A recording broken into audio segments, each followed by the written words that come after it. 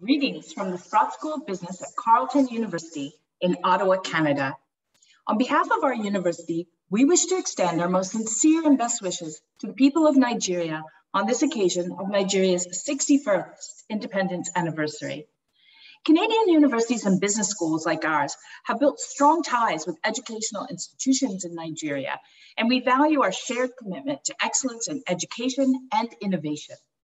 The future is bright for strengthening ties between our countries, increasing opportunities for educational exchange, collaborative research, new business creation, and trade.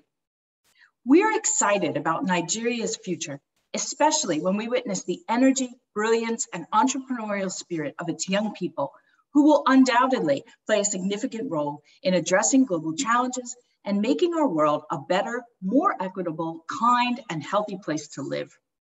As a leader in the Canadian educational sector, I am personally committed to deepening partnerships in Nigeria to provide educational and business opportunities for youth in Nigeria and Canada, and to building forums for our young people to collaborate and jointly innovate.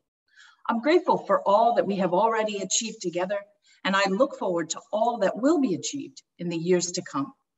Thank you and wishing the best to all of my friends, colleagues, and all of the people in Nigeria today.